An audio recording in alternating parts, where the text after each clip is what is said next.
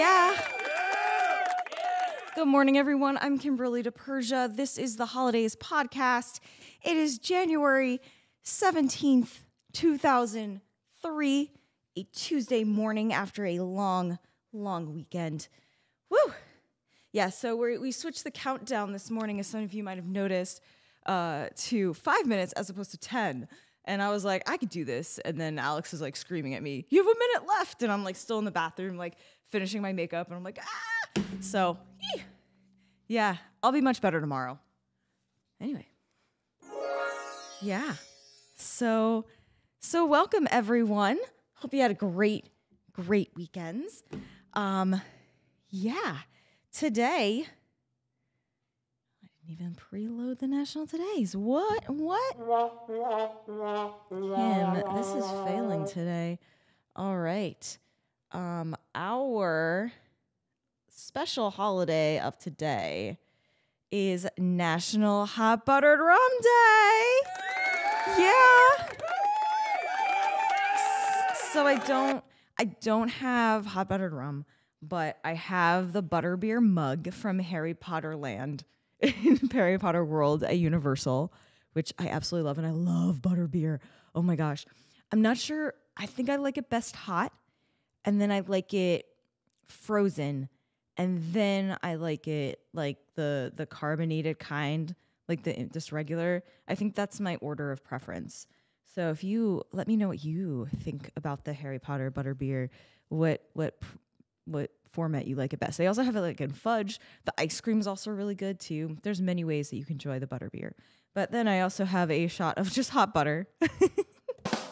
so I don't have the butter rum, but I got the butter beer mug and I got hot butter. So I think that counts.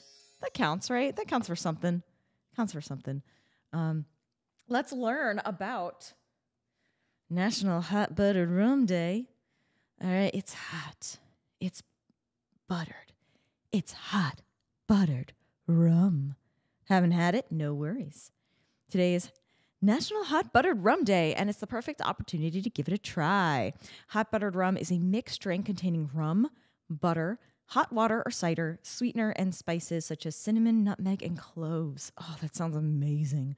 It dates back to colonial America, but likely originates from Europe. It's most often enjoyed in the fall and winter. Well, yeah, because it's cold and cozy, and has been described as a comfort food in a mug. Craving a warm mug of it already? We are too. And oh my god, that looks amazing. What? Find yourself some hot buttered rum. That looks delish. So good. Oh, anyway. Woo! We've got we've got a great show for you today. We've got a couple of really fun sketches. Um but let's and we will get to them as we go throughout our sketches. So first we have, second we have after our hot buttered rum feature, we have Benjamin Franklin Day. Benjamin Franklin Day. Now I don't know if anyone else does anyone else remember? There's this game and it was called like Penny. It was this computer game like in the 90s. And you played as like this girl named Penny and it was like back in the future, back in the past. And she had a dog and there was Benjamin Franklin there. And like you went through and it was like an interactive thing. Does anyone remember that? I loved that game. I did not own that game. I had a friend of mine that owned that game, and I would go over to her house and play that all the time. I was like that friend that was like, I'm going to your house to play your game. but I loved that game, and it was like Penny something, and it was really cool. And it had Benjamin Franklin in it, and he was like the best like character. Um, anyway, but that's that's that's my first reg like impressions of Benjamin Franklin was playing this like video game when I was a kid. But anywho, let's dive back into Benjamin Franklin Day. Pays tribute to one of the greatest founding fathers of the US on the anniversary of his birth. For those of you who don't know how big of a deal he was, just take a look at $100 bills, commonly known as Benjamins. Yeah. The number of hats Benjamin Franklin wore is mind boggling, with inventor, author, printer, politician, musician, diplomat, and scientist being but a few. He was a Renaissance man after the Renaissance. Yeah. So join us as we dive into the life of this polymath, someone who is an expert in many different subject areas. He was a man of many exceptional talents, and that fact alone is worth celebrating. Yeah. So he had many contributions to science, right? He uh, contributed to the field of electricity. We talked about him a couple days ago about the kites, most notable one being the invention of the lightning rod in 1752. He also coined common terms related to electronics, such as battery, charge, conductor, and electrify. Ooh. In the 1740s, his scientific pamphlets helped found the American Philosophical Society, the first of its kind in the colonies. He also invented bifocals and the Franklin stove. In 1731, Franklin founded the first subscription library, the Library Company of Philadelphia. In 1741, his pamphlet on the need to educate youth in Pennsylvania resulted in the founding of the modern day University of Pennsylvania, which remains one of the top schools in the country. And in 1757, he began to serve as a representative for Pennsylvania. And by the 1770s, he became the first American ambassador to France. He was also part of the Committee of Five who were responsible for drafting and signing the Declaration of Independence. Ooh. Another feather to his cap was becoming the first Postmaster General of the United States, and he was put on the U.S. postage stamp after his birth. So it really kind of feels like Benjamin Franklin just made a lot of things possible. He was like, hmm, how about this? And they're like, that's a great idea. Like, how about education? Yeah, that's a great idea, Benjamin Franklin. How about post offices? Okay, that's a great idea. Uh, how about electricity? And they're like, that's the best idea. Yeah. So, so Benjamin Franklin was he wore many, many, many hats, and um, and he probably and he wore probably real hats too in the day because he wasn't he kind of like balding, at least most of his life. Anyway, so yay, Benjamin Franklin. Without you, we might not have electricity. Although there are rumors that electricity, there were a lot of other people that were inventing or discovering electricity around the time. But for America, he's our founding father of that electricity. Yeah, and for that, thank him. Next, we have Cable Car Day. Ooh, cable car all right. Um, the day celebrates Andrew Smith Hallidie getting the patent for the cable car in 1871. It's believed that Hallidie saw horses struggle to pull cars up the steep hills of San Francisco. Oh, yeah. Like they got those really hard hills in San Francisco. Those poor, those poor, poor, oh, those poor, poor horses. And he worried about the news of people falling and dying. Wow. He decided to invent a system where strong cables would move the cars up and down the hill. Today, San Francisco is the last American city to still run any true cable cars. The Cable Car Museum in San Francisco is also a tourist attraction. In other American cities, you will find electric streetcars. Cool. Wow, that's fantastic. Um, I love how their example on this page is not the the San Francisco trolley, but just like some ski lift. yeah, I mean, I don't, I've, ne- I don't think I've been in one of these like ski lift things, but I have been in the things in Walt Disney, the little like cable cars that take you from like one thing to another. Not recently, but uh, very long for a while ago. But they, you know, they kind of float along and they go to Epcot sometime. I don't know where they come from but they go to Epcot for sure. So there's something I don't know where they go. I haven't been on them for a while, but you can definitely ride these things at Disney. Yeah. Yeah. Yeah. Cool. All right. Cable car. So ride yourself a cable car today. Oh, next we have customer service day and we have a sketch for you. Yes. So this sketch was written by Amanda Fisher, and it uh, and starring myself and Jennifer Kalison. So here we go. What's wrong? A lady in there just asked to speak to the manager. Why? An item that we don't sell isn't available for purchase. What item? An air fryer. Does she know this is a Barnes and Noble? I don't know. All I know is that she yelled at me. She called me stupid. She asked me what my purpose in life was if I couldn't find this item for her. And then she asked to speak to a manager. Kim, it's like National Customer Service Day. You're allowed to treat the customer any way you like. You're not afraid we're gonna lose a customer? Then go in there and tell them how you really feel. Fuck you, you fucking.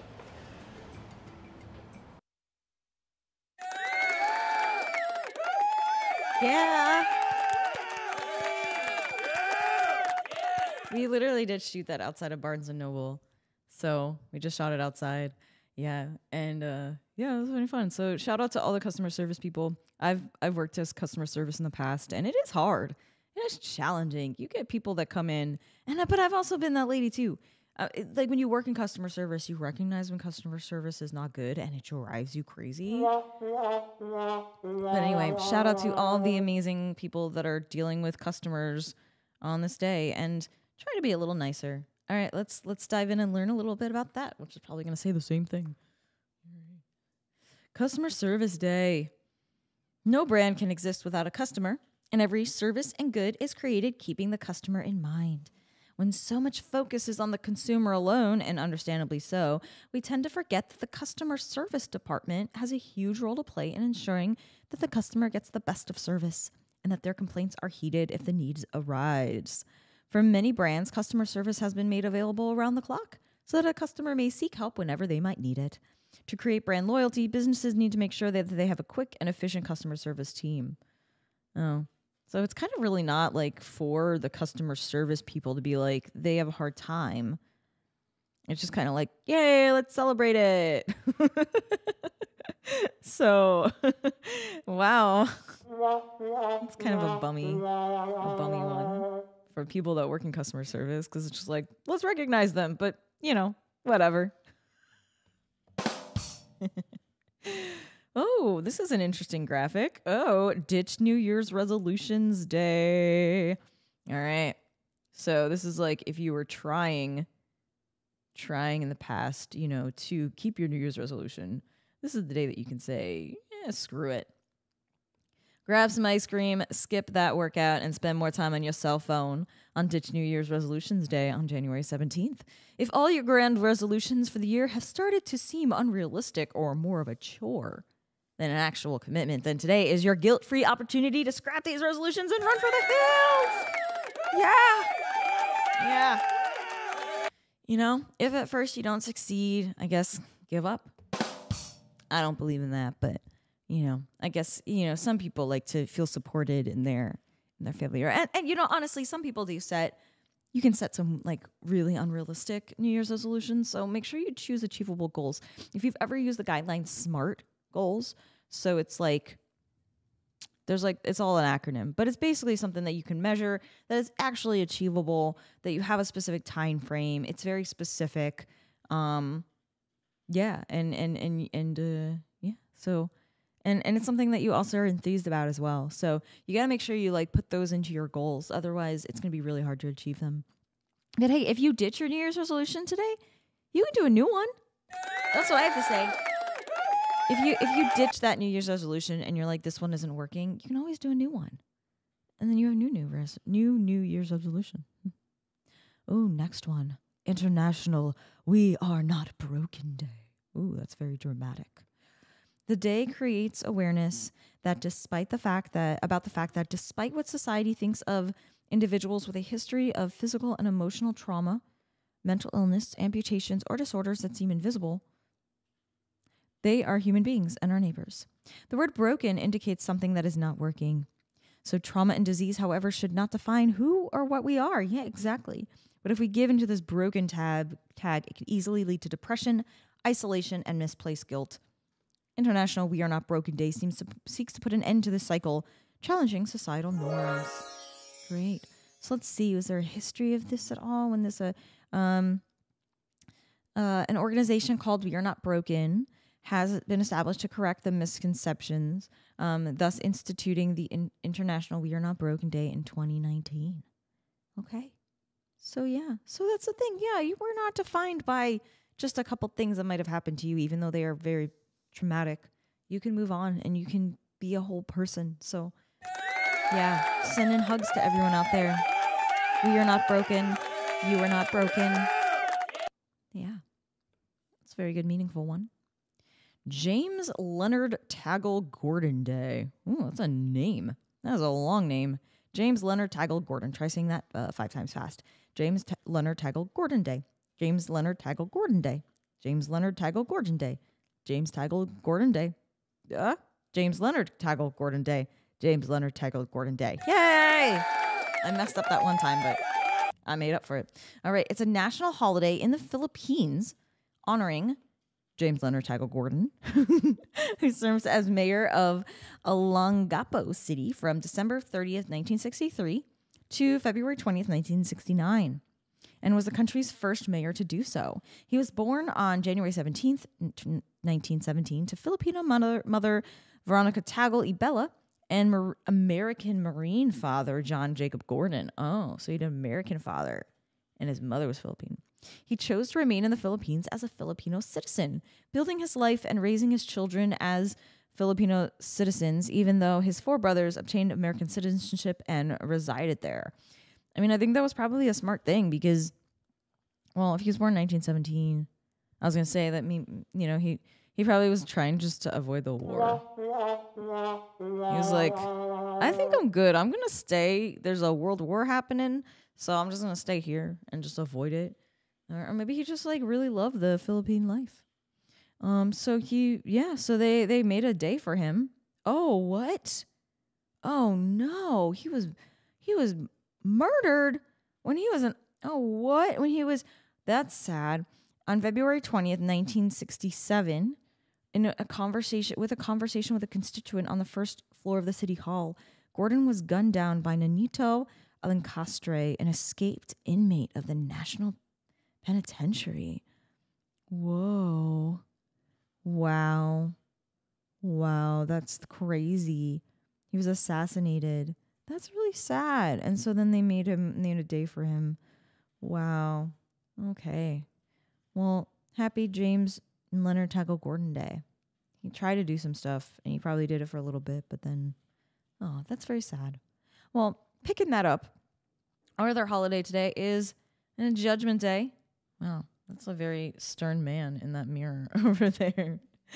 Um, but we have our next sketch for this. And without further ado, Judgment Day.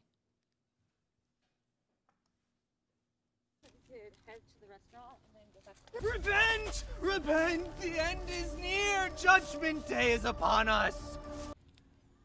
Okay, how do you know the end is near?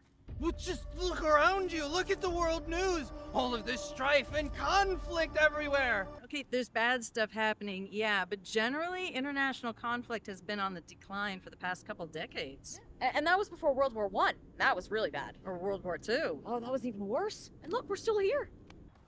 You, well, what about the pandemic, huh? Okay, that was bad, and we didn't always handle it so well, but you know, humanity has survived worse. What about the Black Death?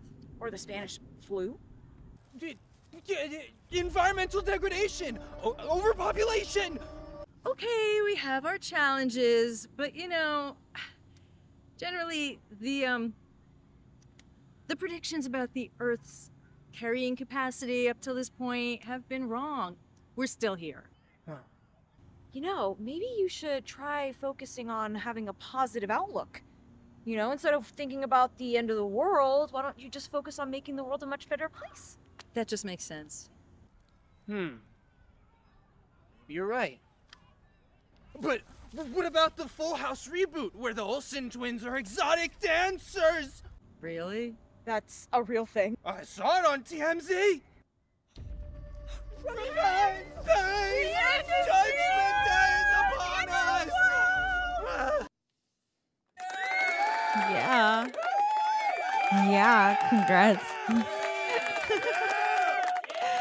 so that was written by Doug McDowell, and that was starring myself, Jennifer Kalison, and Morgan Elgarten. And that was really, really fun. We filmed that in Winter Park, which has a really nice park right by the Winter Park Library, and uh, where we also shot the Wikipedia Day. Um, it's a really cool little area. All these like, there's like a little river, there's a little ponds. It's very cool. It's very pleasant. So for to, to do the end of the world. uh, but yeah, so that, those are our two sketches for today: Judgment Day and Customer Service Day. So pretty pretty fun ones. All right, now let's dive into learning what Judgment Day, which is actually different uh, than than the Judgment Day that like we covered in that sketch. So, uh, which I always love taking a nice fun spin on things. Judgment Day takes place on January 17th every year. Even though it sounds serious, it's a fun holiday that reminds us that we are our own best judges and we don't have to wait until death to realize our rights and wrongs. All you have to do on Judgment Day is simply take a glance in the mirror and be your own judge. I mean, who just I kind of do that every day. I look in the mirror. I'm like, how do I look? Mm, mm, maybe I shouldn't have eaten that like cake yesterday or whatever. but anyway, um, the uh, the day is often summed up in a single quote. Now you don't have to see how you die. No, you don't have to die. Now you don't have to see how you die. I don't think you can. Um, now you don't have to. Now you don't have to die to see how you measure up to your deity standards. Just look in the mirror, wait for the answer, and go out and give another shot. Judgment Day reminds us to be kind and do good, even though no one is watching, even when no one is watching. So you just like stare at yourself in the mirror, and then you're like, "Am I a good person? Am I a bad person? Am I a complicated person?" So just stare at yourself in the mirror, just like this guy here. And then once you get the answer, um, go out and do better because most likely your answer is you're not a good person. No, I mean, there are a lot of great people out there, but we always have room for improvement. You can always make yourself a better person, and I think we should continually strive for that, especially in the world is is more and more crazy. So yeah, judge yourself. Kid Inventors Day. What? Kid Inventors Day celebrates the creativity and ingenuity of young people all around the world. You would be surprised to know how so many of the things that we use every day have been made by kid inventors. Kids have invented all sorts of the things that we use every day, um, all sorts of, of things that become common fixtures in our life. This includes earmuffs, popsicles, trampolines, braille. I'm, I'm pretty sure I know the history of the guy that did braille, and I thought he was much older when he created braille, but whatever. And even the television invented. Hmm? I'm gonna like investigate this and the thing. Anyway, Kids Inventors Day in particular celebrates the extraordinary life of Benjamin Franklin. Oh, one of the earliest known kid inventors. He invented swim flippers at the mere age of 12. Wow. When I was in when I was in elementary school, we had um, an inventors uh it was like an inv- was an inventors like competition where we would all like invent things and I remember like winning a couple things sometimes um some years when I was a kid. I like I remember I I, I invented invented like a, a reading light to like attach to a book, which they ended up coming out with that. So who knows if they stole my designs, but whatever.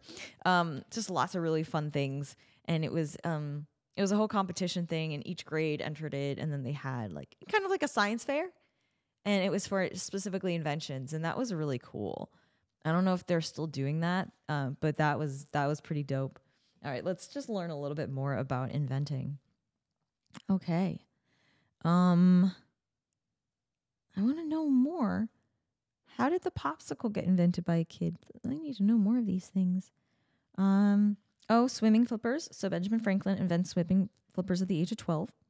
Louis Braille, who was blinded at the age of 3, invents the system in 1824. So maybe he was a little bit maybe he was a teenager when he did that cuz I remember cuz he like goes to school and stuff too. Um I thought he was an adult when he did that, but maybe he was a kid. Wow. Popsicles. Frank Epperson invents popsicles at the age of 11. Very cool. And George Nissen and Larry Griswold invent the first trampoline in 1935, I guess, when they're kids as well, which makes sense. You have a bunch of kids that are just like screwing around and they're like, let's just jump on this thing and make it bounce. And they're like, yeah. And thus the trampoline was made. Very cool. Okay. National Bootleggers Day. Ooh. Or maybe they're making that that hot buttered rum. Yeah. The National Bootleggers Day is celebrated on January 17th every year to mark several key events the start of Prohibition in the US, the uh, distillation of Templeton Rye whis- whiskey, and the birthday of the famous gangster Al Capone. Hmm, that's weird. Um, what's interesting is how all three events are interconnected too. It was the onset of Prohibition that prompted both Capone and farmers in Templeton, Iowa, to distill their own whiskey to sell. This is how the famous Templeton Rye whiskey was born, and its popularity spread like wildfire through during Prohibition, so much that it became Al Capone's favorite whiskey. So we're kind of just, you know, celebrating this one particular whiskey. Very interesting. Um, the term bootlegger itself has origins in Midwest America during the 1880s, um, where specifically white folk, that's what they say here, know, would often conceal flasks of liquor in their boots when engaging in illegal liquor trade with Native Americans. And this nifty method of hiding liquor in boots, oh, they were like trying to like sell liquor to the Native Americans and they were hiding them in their boots. Okay. Was uh was also utilized by the military too. You put a lot of stuff in your boots. Boots were big back then. They were. They were big boots. Um Thus, the term came to be used for any smuggler of liquid. Uh, shol- soldiers would often sneak alcohol into base camp by hiding the flasks in their boots.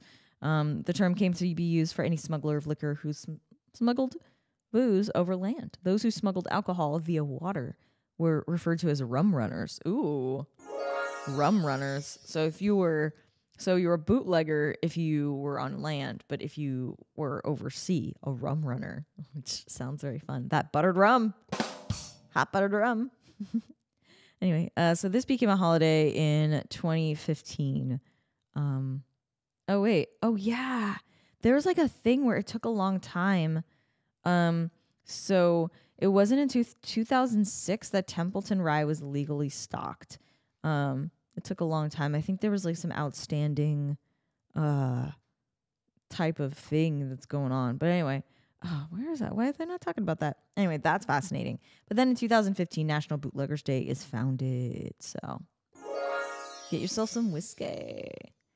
All right. Oh, National Carolina Day for all those people that are named Carolina and every person who was ever named uh, to commemorate the name Carolina and everyone who is ever named Carolina um, or Carolina. It's particularly a feminine name and has origins in the Spanish, English, Italian, Portuguese, Catalan, Swedish, and German languages. The name Carolina in German means a free or a beautiful woman. However, in um, Latin, Carolus, Charles, was the name Carolina is derived from, which generally means free man or freeholder. Okay, so free, beautiful, all that. Um, Carolina can also mean a song of happiness or joy in French, or the prettiest woman of the town in Spanish. All right, so happy National Carolina or Carolina Day to all you out there. And then we also have National Charlotte Day um, to celebrate Charlotte in the world and the uniqueness of an ex- existence. The uh, name Charlotte is primarily female and is believed to be of French and English origin. The meaning of Charlotte is free. So, another name which means free. Charlotte is the feminine form of Charles and is often named Charlie or Char- Charlie. There are many other common nicknames for Charlotte, including Lottie, Lotta, Char, and Carlotta, an Italian form of Charlotte. And we all know about the most famous Charlotte, Charlotte's Web. You thought I was going to say Sex in the City, but no. But no, Charlotte's Web. Yeah. All right. Oh, we already did National Hot Buttered Rum Day. Woo woo. National Hotheads Chili Day. Oh. On this day, chili heads, heat seekers, and extreme eaters try out the spiciest chilies. National Hotheads Chili Day is celebrated with habanero eating challenges, fancy dress contests, and cook offs of popular recipes. Uh, chilies are also made to take the official Scoville heat scale. That doesn't mean that you have to be a daredevil to celebrate the day. Anyone who likes their meal a little hot can celebrate the day. All right. Very cool. So we had yes, we had the the we had the chili hot and spicy day, and then we have you know this National Hotheads Chili Day. So have some spices, have some chilies. National Ta Day. Is this a oh? Okay, this is another name day. Just appreciate all the people called Ta over the world. It's a common last name found in Vietnam among the Chinese community. This name is a transliteration of a Chinese surname, which means to thank, apologize, wither, and decline. Ooh. Huh? I'm sorry, wait. So you're like, I thank you. I'm sorry. I wither and decline. What does that mean? Wow, that's a strange name. Uh, most of the Taz who left China and have settled down overseas in the last 400 years most likely came from Guangdong and Fujian provinces. Uh, that's really strange. Um, as a Chinese, it, it basically turned into thank. That's the main part. But that whole like wither and decline sounds a little extreme. So, all right. Uh, Popeye Day. Popeye. Yeah, Popeye. Popeye the Sailor Man. I live in. I'm Popeye the Sailor Man. I remember watching that cartoon when I was a kid and I loved it. And I think they probably made an update of it. But I, I remember watch I think remember watching the old ones. And then also at um Universal there's the Popeye um the the like rapids that you ride and um there was so I have a story about this. So Alex and I went with his mom like last summer like last summer not not two summers ago she came and she visited us and it was a particularly chilly day it was like mm, i don't know why it was just a little chilly. Um maybe it was spring. It was sometime but she came and she visited us and we went to the popeye barges which was you know the and and so you get soaked on this ride throughout. You know you pretty much not a single person doesn't get soaked. But we're going up this incline and all of a sudden the ride like just pauses and we're stuck on this ride at the exact same time this water this rampant water stream is literally soaking her and it's freezing and we're stuck and you're on an incline so you can't get out of your seat because you're afraid if you get out you, probably will like fall and, and tumble away. I swear it was like five minutes that she was like we were stuck on this ride and she's screaming and we're just like cracking up because it was it was that schadenfreude where you're just like oh my god this is terrible. And just this like the ride there there i don't know what was happening but there there was some type of technical glitch and we were stuck on this incline and she was getting soaked with this freezing water and it was absolutely awful. And every time now i think of popeye and i think of that ride i just think of her. And like the whole time her face was literally like why is this happening to me? It was like for those of you that are watching along that was i, I made i made a very like why is this happening face but yeah so that that that's a very interesting that's a, that's a story i have to tell about popeye that's close to my heart but anyway let's learn about the comic so uh on uh popeye made his debut performance in a appearance in a comic strip called thimble theater uh, Elzie Crisler E.C. Segar created it on January 17th, 1929. Wow. So this is almost 100 years old. The uh, the comic was originally centered around Olive Oyl. Ooh. But the popularity of Popeye changed that? What? It was about Olive Oyl and then they were like, "Nah, Popeye's cooler, so we're to change it to that." I mean, he is he's cooler. Olive Oyl's a little like wimpy. I mean, they should have just had her eat the spinach. But I guess it was the 20s, you know. Anyway, by uh, by 1933, Popeye had his own cartoon series, I Am What I Am, which is the first cartoon with Popeye as the main character. Fleischer Studios released the cartoon between 1933 and 1942. Even after a century, Popeye remains one of the most popular comics ever produced. Yes. Wow, fa- fascinating. Um very very neat. Uh so yeah. So so wa read yourself some cartoons or watch some Popeye cartoons or go to Universal if you're in the area, but be very careful about that ride. you will get soaked. And honestly, it's a cold it's cold right now. I would not go on that ride right now if you're in Florida. Not unless you're like from Alaska and you're like, "Oh, it's great weather." It's freezing. Don't go on that ride unless it's like July. And then cuz you're just going to get soaked and then you're going to feel soaked the whole day.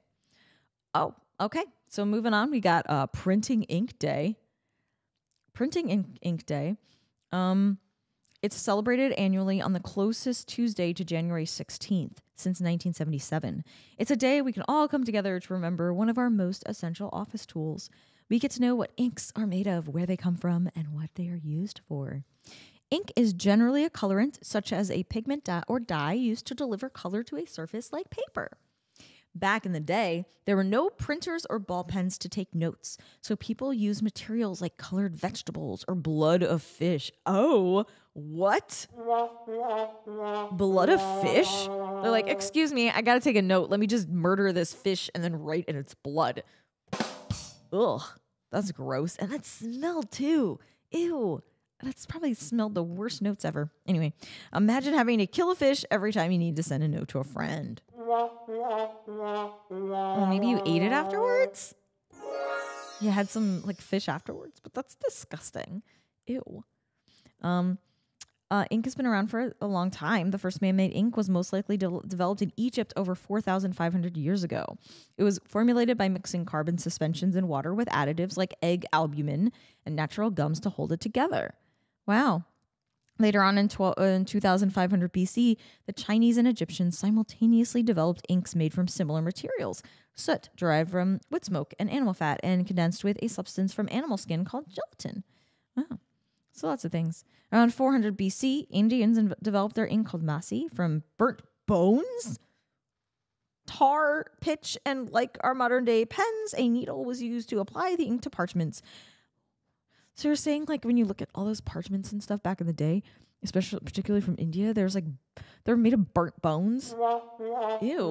Wow. In 1440, the mechanical printing press was invented by Johannes Gutenberg, but it had a unique problem. Existing ink did not absorb fast enough into the paper and inconveniently smudged as the press moved. To find a solution to this problem, Gutenberg came up with the first oil based ink made from turpentine, walnut, oil, and soot. All right. Earned him the father of print. Yeah, so thank goodness Gutenberg was like, we're not gonna like make these bones and the weird fish blood stuff and animal stuff. Let's just make it not not with animals. How about that? How about that? That sounds great. Um, in 1772, the first patent was issued in England for making colored ink, and as the millennia advanced, new print technology developed. In the 1970s, there was an oil crisis, and printers started look. Oh, yeah, and all like the the cars were like backed up, and like I, I hear my parents, you know, they, they they talked about the thing where you know you had alternate days that you could go, like even uh, license plates versus odd license plates, you know, that huge oil crisis. So printers started then looking as an alternative to petroleum based inks, um, such as water, soy, and vegetable based ink, which are more sustainable and friendlier to environment anyway. Yeah. So printing ink day is first observed on in 1977 as well. They're probably like just trying to be like, hey, this new ink, why don't you go buy it? Yeah.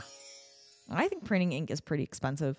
It's gotten way more expensive over the years. It's so expensive. But I have I have a I have a printer that it's like um it's like tanks. And so you just throw like these tanks of ink in it, which I have to say, like I haven't had to change it once and I've had it since last year. And we print a bunch of scripts, we print lots of other things. So I have to say, but it takes forever to print too. It's the slowest freaking printer in the world. It prints like one page like every minute. I swear. It's so slow and it drives me insane. And there's no way, even if you do draft, but the ink is really, really cheap. So I mean you can't you can't you can't argue that. Rid the world of fad diets and gimmicks day. Ooh. Um, celebrated every Tuesday after the third Sunday in January, which starts Healthy Weight, weight Week. Um, this year it takes place on January 17th. It seeks to promote weight management and encourage people to eat healthily and have a balanced diet. Weight management includes specific techniques and physiological processes that enable one to attain and maintain a certain body weight. Most of these techniques comprise long term lifestyle strategies that promote healthy eating as well as daily physical activity. It involves developing meaningful ways to monitor one's weight over time. Yeah. So, like, lose weight healthily. Don't just like throw some weird gimmick at it because most likely it won't last and it might be not good for you. So, just eat healthy and exercise. That's the best thing that you can really do. So, yeah, very cool. Oh, what? St. Catherine died from extreme fasting in 1380. St. Catherine of Siena resorts to extreme fasting to avoid marriage. So that's different. It wasn't like she was trying to lose weight. She just didn't want to get married. She was like, I'm not getting married. I'm going to fast. And they're like, we're going to call your bluff. And then she just died. Wow. Wow. That's, that's sad. Poor St. Catherine. She just didn't want to get married. And they just didn't want her. And then she was like, I'm not going to eat. Wow. The first book on dieting was in 1558, though. So that's cool. All right. All right, here we go. We got all the birthdays. Ooh, lots of birthdays here. I'm just gonna I'm just gonna gloss over. There's a lot of birthdays here. Um, some of them are sad because Betty White is no longer alive. As I always find it strange when people celebrate birthdays for people who are not still alive, but we pretty much know most of these people whose birthdays they are. Um, Muhammad Ali is not still alive as well. So, but all right, without further ado, our happy birthday song. Happy birthday to you. Happy birthday to you. Happy birthday, dear Michelle Obama, Betty White, Dwayne Reed, Eartha Kitt, FKA Twigs, Jake Paul, James James Earl Jones, Jeremiah Raber, Jim Carrey, Kid Rock, Maury Povich, Muhammad Ali, Ray J, Sarah Molina, Skate Maloli, Steve Harvey, Zooey Deschanel. Happy birthday to you. Yeah. So we mo- we know most of those people. The other ones are probably just, you know, YouTubers again, which uh, whatever. Whatever. Although I do say I, I would like to have my birthday celebrated one day too on this nationaltoday.com. Anyway, that's our show. I'm Kimberly DiPersia. This is the National Holiday the Holidays podcast. We are here every morning, 7 a.m. ish during the weekdays, a little later on the weekends. If you are following, please give us a like, hit that notification bell, subscribe wherever you're watching so you can be on the alert every time we go live again. You can also watch all of these on nvpictures.com or our NV app, which is available on all Apple devices. Only $40 a year. And you get all of this as well as um, award winning films, series, short films, lots of stuff, more podcasts. So check it out.